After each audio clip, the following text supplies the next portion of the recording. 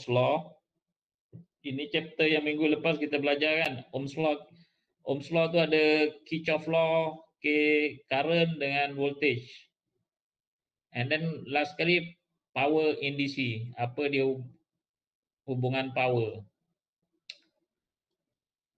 Okay, front page sama. Okay. Nah, ini pun sama, tak ada beza. Saya nak explain dekat sini. Okay. Eksperimen dua ni, dia punya aim uh, to give knowledge and understanding on Ohm's law. So objective, able to verify Ohm's law. Yang kedua, learn how to use Ohm's law circuit. Okay. Okay, ini adalah formula-formula yang relate dengan Ohm's Law. Ohm's Law ni German physics, nama dia Simon Ohm eh, yang gunakan, yang jumpa formula ni lah. So kalau kamu jumpa formula baru, ah boleh lah bubuh nama kamu kan.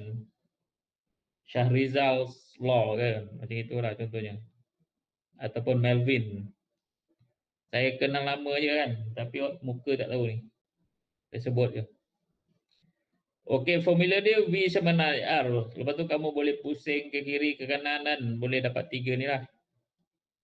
Okey, ini dia punya voltage, I current, R resistant. Okey, so dekat sini kamu ada digital multimeter kalau ikut itulah. Dekat lab punya equipment, kamu ada power supply, kamu ada breadboard and then kamu ada resistor. Value-value dia adalah berbeza. Okey, ini basically sama juga macam lab yang satu itu. Kamu ada lita siri. Kamu ada resistor ni 100 ohm and then kamu ada meter untuk measure current and voltmeter untuk measure voltage. Okey, kamu punya V in ataupun VS, V source adalah 10 volt. So dekat sini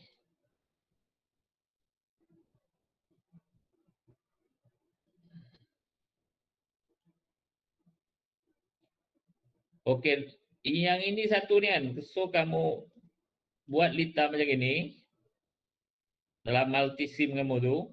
So kamu nak kena cari I1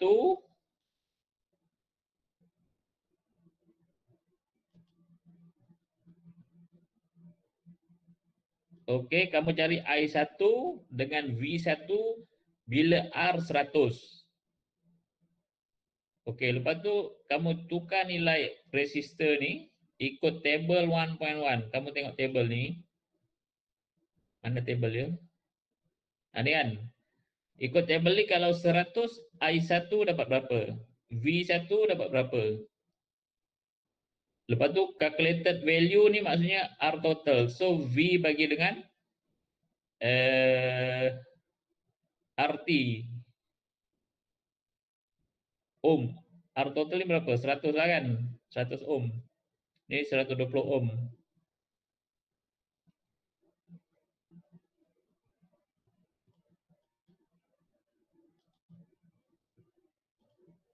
Okey lepas tu bila 120 kamu tukar dia punya value ni 120 I1 ni dapat berapa? V1 ni dapat berapa? So kamu isilah dalam kamu punya table. Masukkan dalam kamu punya table sini. 100 R tadi 100 dapat I1 V1 120 I1 V1 220 I1 dapat berapa? V1 dapat berapa R total ni basically V bagi I lah kan. V bagi I, so basically sama ya nilai dia sebab kamu nilai ni accurate. Simulation dengan calculated ni biasa sama. Tetapi kalau kamu buat dekat lab, kamu measure I dengan V ni ada ada kurang lah. So tak apa, kamu buat ikut just teori sajalah.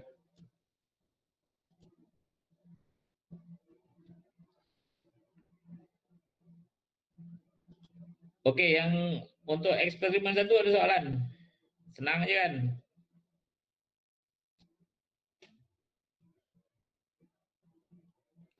Ah, uh, sir, yang eksperimen satu tu nak hantar kat mana, sir? Hantar kat mana? Dekat individu ke dekat grup? Kamu semua sekarang grup kan? Ah, yes, sir. Tapi dalam auto saya tak tak ada buat lagi. So kamu hantar by email ya? Maksudnya kamu dah siap satu lab sheet yang komplit tu, kamu punya tiga orang tu, So email kepada saya yang komplit.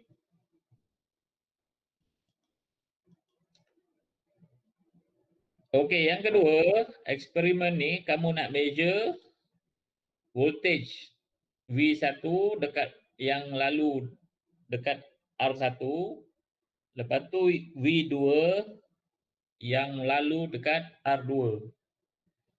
So V in kamu sama juga 10 volt Okey, first nilai dia adalah 220 220. So kamu tengok table semua. Table 2. So 220 R1 220 R2. Berapakah nilai V1 dengan V2? So kamu letak di situ and then kamu multi sim tu kamu dapat 220 220 and then kamu dapat voltage sini dengan voltage sini. So kamu isi dalam kamu punya table. Lepas tu kamu tukar 4.7, 4.7. Kamu pun dapat V1, dapat V2.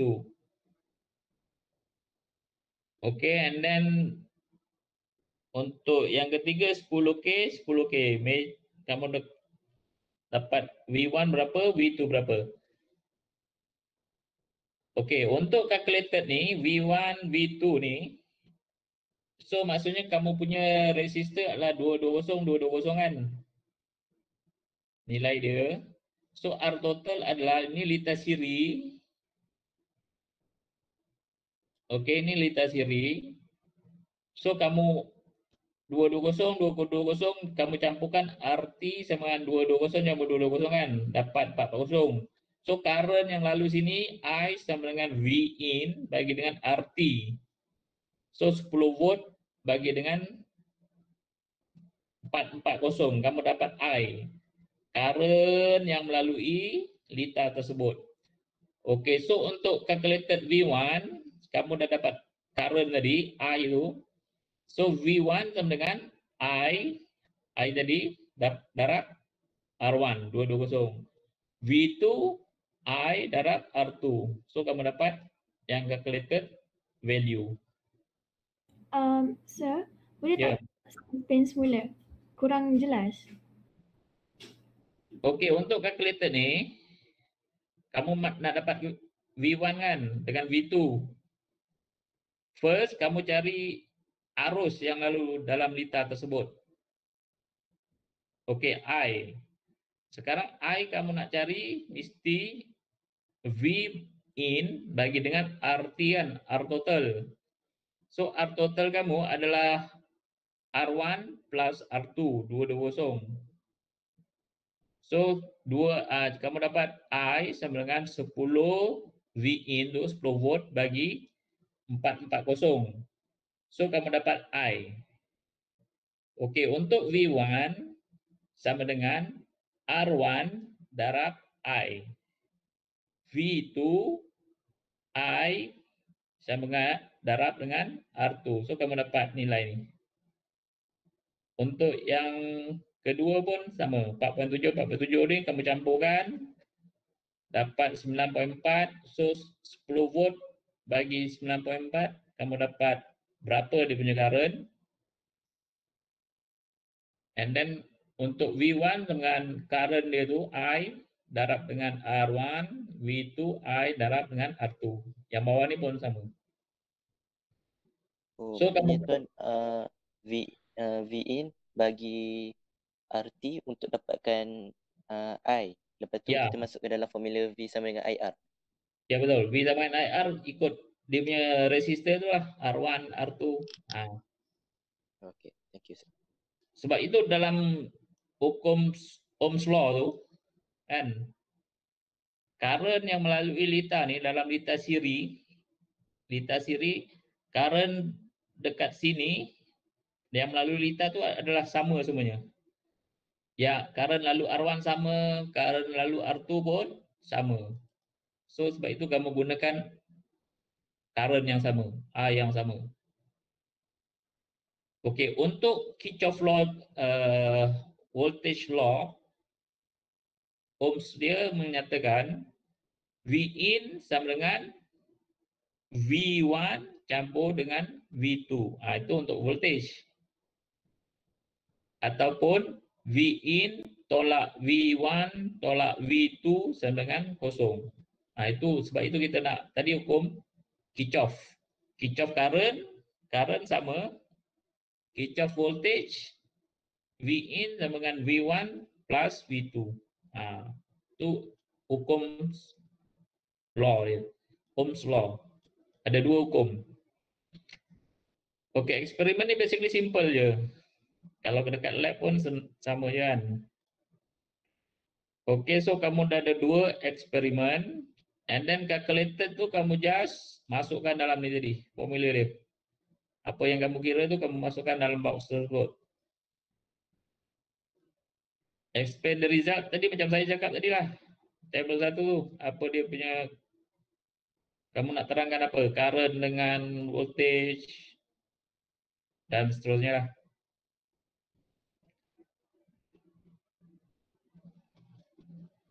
Okey, yang ketiga adalah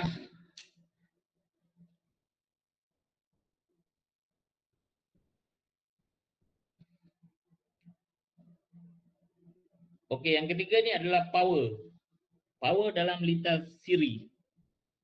DC circuit. Okey, objective to determine power in DC circuit from major value of voltage and current.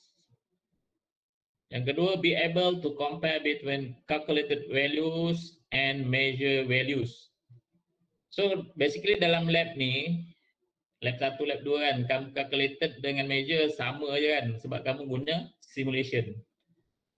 Tetapi dalam reality, dalam reality dia mesti ada ada loss, ada drop sikit lah kamu punya measure, measure value.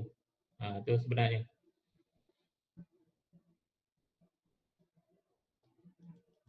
Okey, formula untuk tu P dengan IV Ha, ini pun sama dengan hukum flow tu bila kamu pusing-pusing P boleh jadi I kuasa darab, darab R ataupun P V kuasa 2 over R. So ini kamu just manipulate dia punya formula tu lah. Okey dalam figure ni kamu ada source supply kamu ni E ni battery and then basically kamu ada load. Ha, load ni macam-macam lah. Macam mentol ke, peti ais ke, bensin basuh tu, itu adalah consider load. Tapi itu dalam AC lah. Kalau dalam DC ni just macam resistor, uh, LED yang gunakan DC lah. So kamu nak measure current dengan voltage pun method dia adalah sama. Kan? Current, voltage. Okey, equipment sama juga. Digital, DC power supply, breadboard, electronic device, resistor dengan 120, 330 dengan 1 kilo ohm. Okey, so kamu kena lita buat lita ni. Sama je lita dia. Kamu ada resistor and then kamu ada arus emitter ni pastikan kamu sambung positif dia kepada source eh. And then negatif dia kepada resistor. Kalau tak nanti dapat tak, kamu dapat jawapan tak ada negatif. So pastikan polarity dia betul lah. Voltage ni merah ke ke atas and then yang merah ke bawah. Ini basically sama dalam kamu punya apa tu? Electrical measurement kan? And in instrumentation dia punya ohmmeter, voltmeter tu yang kamu dah belajar tu dalam lab tu. Benda itu itulah dia punya dalam lab teknoelektrik. pun menggunakan meter yang sama. Voltmeter dengan ammeter. Okey, measure value VL ni VL kamu letak dekat sini, IL kamu measure and then kamu tulis dekat sini. Untuk RL kamu R load. L tu maksudnya load eh. So kamu measure dekat sini, kalau 120 load kamu adalah 120, berapakah kamu punya I load dengan V load? So yang kamu simulation, kamu just tulis dekat sini. I load darab ni ni. Lepas tu calculated value adalah power I kuasa 2 bagi dengan RL. Ini calculated eh. Yang ni tadi kamu gunakan multisim. Yang calculated ni kamu gunakan formula I kuasa 2 RL. Apa maksud calculated? So L kamu adalah 120 kan? Okey, 120. I kamu dapat berapa dekat sini? Calculated punya.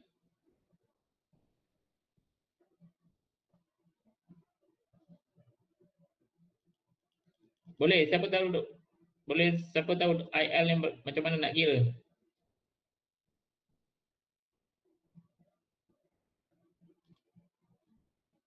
Uh, guna Ohm's law tuan.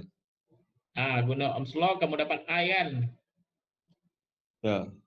Ah, so kamu dapat I, maksudnya 10 volt bagi dengan 120, kamu dapat IL kan? So just kamu masukkan dekat sini lah, pusing-pusing sama je lah. Ini, jadi kamu dapat IL tu, sama dengan IL kuasa 2, darab dengan RL. RL kamu adalah 120. So kamu kira macam itu. Okey, yang kedua ni kamu tadi IL kamu dah dapat. Jadi IL kamu ada VL kamu macam mana dapat? VL adalah IL dalam RL kan. Ha, so kamu dapat basically pusing-pusing sama je ni. Nilai dia sama kata kalau sini 10, sini pun 10, sini pun 10. Just dia nak tunjukkan formula ni lah. Pusing-pusing pun dia benda yang sama. Okay, so kamu completekan calculation, kamu tunjuk dalam step bawah tu.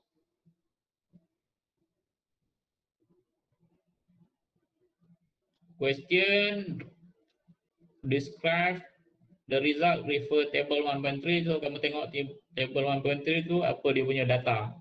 Uh, sir, Ya. Kalau macam uh, yang saya kata tadi apa uh, terangkan result tu kan, kita kena nyatakan nilai ke ataupun kita cakap pasal pola pola dia ke kena mention ke apa yang uh, nilai-nilai dekat kotak tu? Dia punya hubungan tu. Ah ya, Ha, mention hubungan. mention hubungan and then nilai nak kena, uh, kena tak? Nilai tak perlu sebab dari table tu dah ada value kan, dah ada nilai kan. Oh, so tadi macam saya kata kalau nilai tu semua sama kan? So just kita cakap uh, nilai measure dia tu sama ke macam mana? Ha, nilai measure tu sama lah. Alright, alright. Ha. Okay, calculation refer, conclusion ni refer pada objektif kamu eh. Okay, okay yang lepas tu kamu attachment. Screenshot 2A punya lita tu satu satu lita, lepas tu 2A2 satu lita, 2B satu lita. So kamu attach dalam kamu punya report. Habis. Okay, so basically dalam lab ni, apa yang kamu belajar dalam kamu punya kuliah tu kan, kamu puli, kuliah tu just nak tunjukkan apa yang kamu belajar dalam kuliah tu adalah sama secara praktikal. Ha, maksudnya lab ni adalah untuk proof. Proof yang kuliah yang kamu belajar tu adalah sama secara praktikalnya.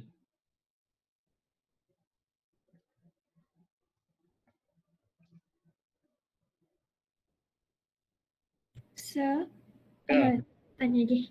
Uh, untuk conclusion kan, ini kan ah. lima uh. So macam uh, apa isi-isi yang kita nak cakap dekat conclusion, uh, macam kita nak pastikan benda tu uh, cukup untuk lima markah. Apa poin-poin dia? Dia ni tak semestinya lima kan. Kalau objektif kamu tadi ada dua, so kamu just tulis dua lah. Maksudnya dua tu dan tambahan lain-lain sikit, so dah boleh dapat lima lah. Katakan yang untuk eksperimen 2A ni kan, kamu punya yang objektif untuk power tu, conclusion ni adalah eksperimen 2A kan. Maksudnya daripada semua lab ni kan. Okey, objektif yang ini. Yang first ni. Kan kamu faham Ohm's law and then kamu how to use dalam analisis. Okey, itu dah dua poin. Okey, lepas tu kamu yang power supply tadi. Mana yang power supply?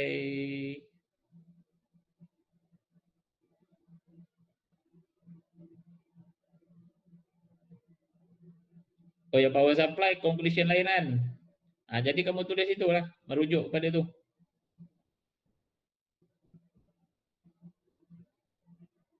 Merujuk pada objektif. Ha, itu. Apa dapatan kamu? Ha, kalau yang untuk 2B ni power circuit, measure value and voltage and current. Kamu memahami benda ini kan. Lepas tu kamu memahami compare between calculated value dengan measure value. Tu tulis sini je lah. Dalam bentuk ayat. Kamu punya kesimpulan. Yang lain-lain tu kalau kamu nak tambah boleh juga. So kalau kamu tulis dua ni pun dah dapat lima poin. Okey, ada persoalan lagi?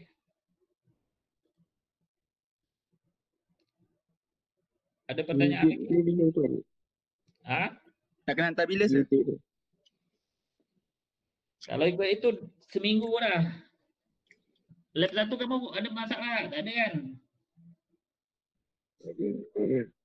Ah, kalau ada masalah boleh WhatsApp lah apa tak faham ke apa. Kalau kamu hantar lambat ke, ada internet problem ke, just inform lah. Jangan kamu buat senyap je. Sebab yang apa kamu hantar tu saya rekod eh. Setakat ni kalau based on semalam lah yang hari Ahad saya baru dapat lima lima full report. And then pagi tadi pun saya tengok ada yang dah email tapi saya belum file lagi lah. Saya belum tick dia punya siapa yang dah dah hantar.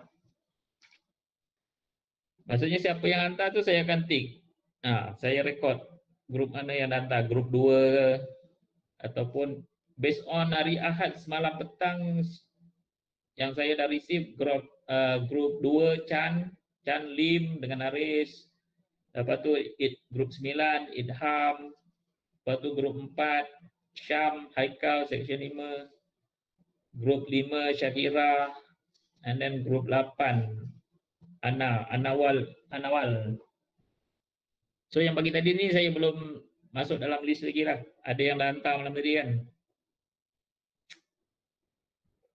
Okey, ada soalan lain? Tak ada?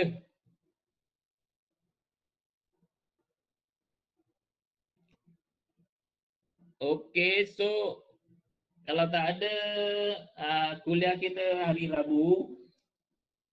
So hari Rabu nanti saya akan bagi buat kuis lah.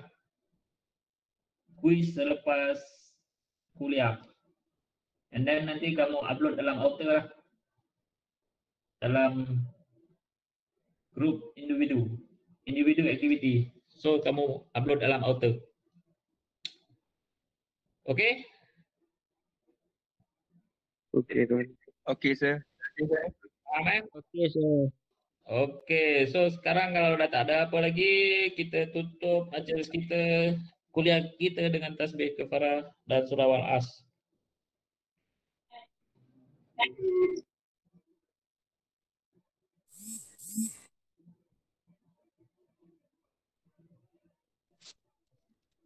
Okey, sekian. Terima kasih. Assalamualaikum warahmatullahi wabarakatuh. Terima kasih. Terima kasih. Waalaikumsalam. Terima kasih sir. Okey. Eh, Google nanti saya hantar dia punya link.